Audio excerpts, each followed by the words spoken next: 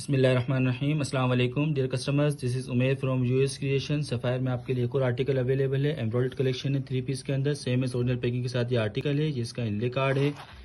ये इसकी back packing है। नब्बे, सत्तर एच एट फाइनेंस क्वालिटी की लोन है कट किनार वाली। लोन की क्वालिटी आप चेक कर लें। ये बैक से ये देख लें, किनार देख लें। ज़बरदस्त फाइनेंस क्वालिटी की लोन है। कंप्लीट इसका फ्रंट है। फ्रंट पे इसके जो है नेक, इसकी एम्ब्रॉयड है।